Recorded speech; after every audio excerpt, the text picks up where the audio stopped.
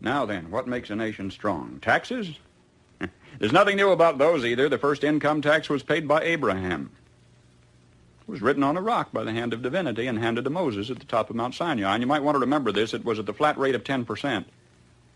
It promised the wrath of God on anybody who tampered with or violated that law.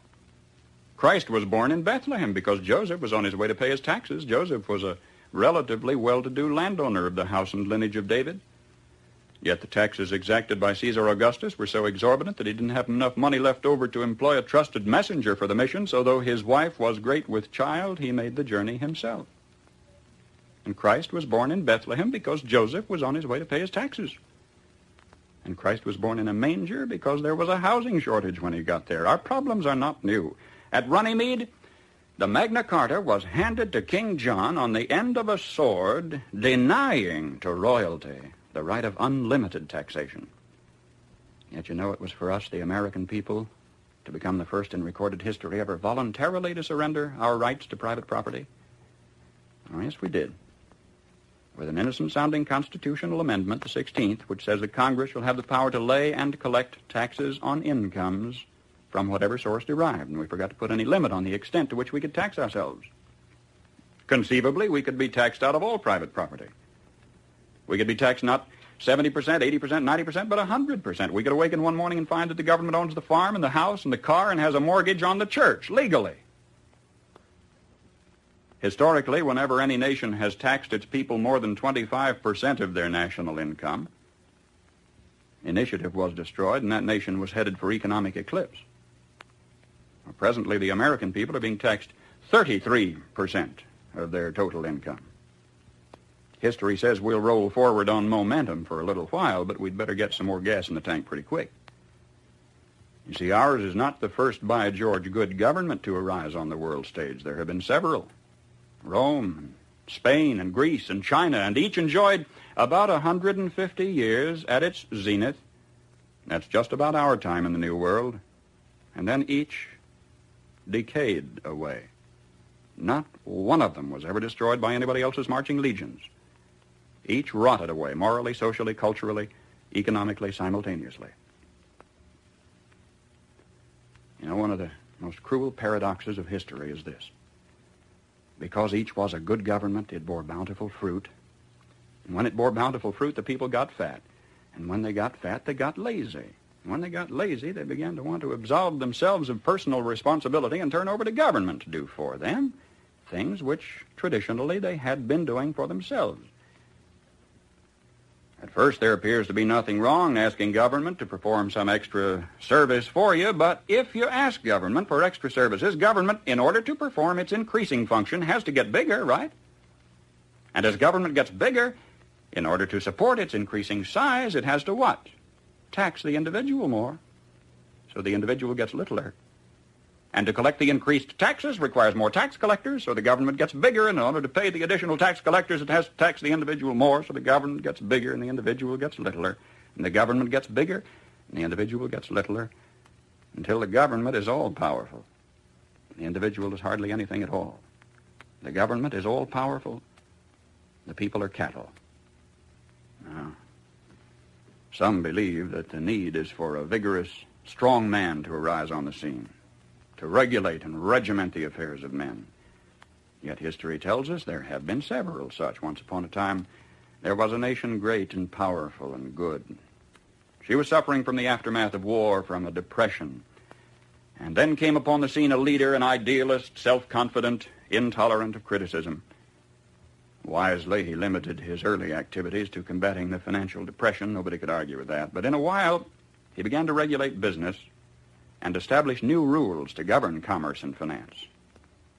Some of them in diametrical disagreement with the God-made laws of supply and demand, but anybody who disagreed with those new rules was promptly fired.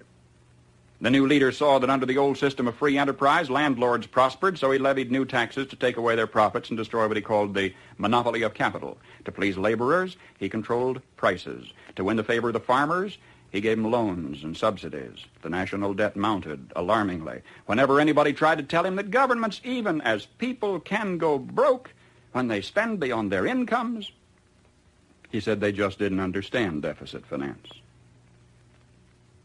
what do you say? Did he build on rock or on sand? I say on sand. For you see, this was the story of Emperor Tsu Tung Po, who led China to its doom more than a thousand years ago. I am satisfied with all my heart that if Uncle Sam ever does get whipped, here too, it will have been an inside job.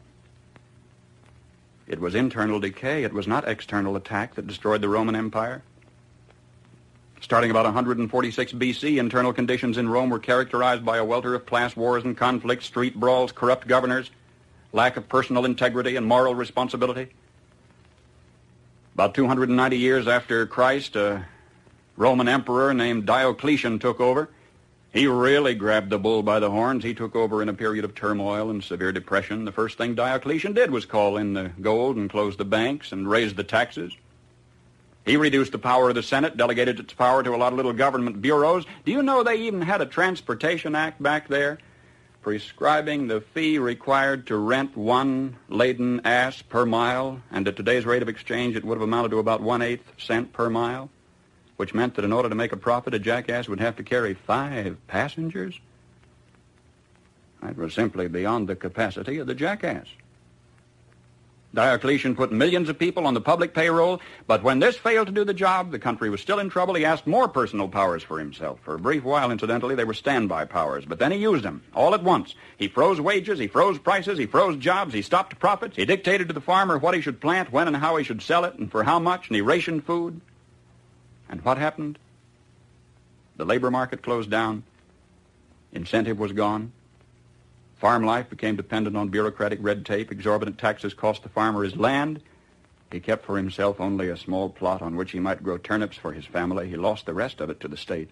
And without food and with incentive gone, city life stagnated and declined. And Rome passed into what history has recorded as the Dark Ages, lasting a thousand years. Just by turning to the left, the world has gone in circles. A nation would evolve from a monarchy into an oligarchy, from oligarchy to dictatorship, from dictatorship to bureaucracy, from bureaucracy to pure democracy, where finally the people would cry out from the chaos and confusion of the streets, Oh, please, God, give us a king, and God would give them a king, and they'd have a monarchy again and start the whole silly cycle anew. Now either we will profit from the errors of their ways, or it follows as the night the day, our children are going to have to relive the dark ages all over again. How come, after thousands of years of experiment, our new nation has come so far so fast? All this in less than 200 years. What is the secret of our success? Well, I think it had to do with a basic American's creed. Perhaps it never passed the pioneer's lips in this form, but if it had, I think he would have said something like this. I believe in my God, in my country, and in myself.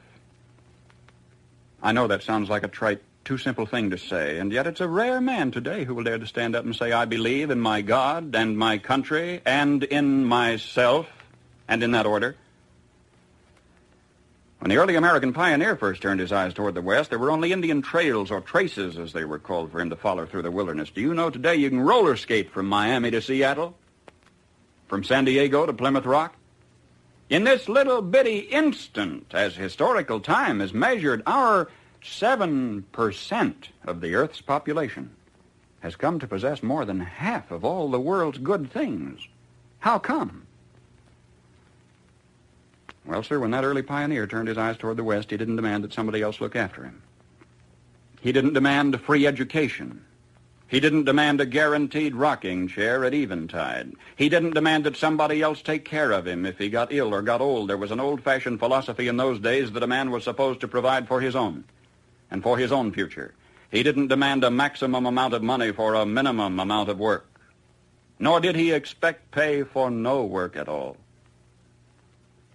Come to think of it, he didn't demand anything. That hard-handed pioneer just looked out there at the rolling plains stretching away to the tall green mountains and then lifted his eyes to the blue skies and said, Thank you, God. Now I can take it from here. Now, that spirit isn't dead in our country. It's dormant. It's been discredited in some circles, driven underground, but it isn't dead. It's just that a few seasons ago, politicians baiting their hooks with free barbecue and trading a Ponzi promise for votes began telling us we don't want opportunity anymore. We want security. We don't want opportunity, they said. We want security.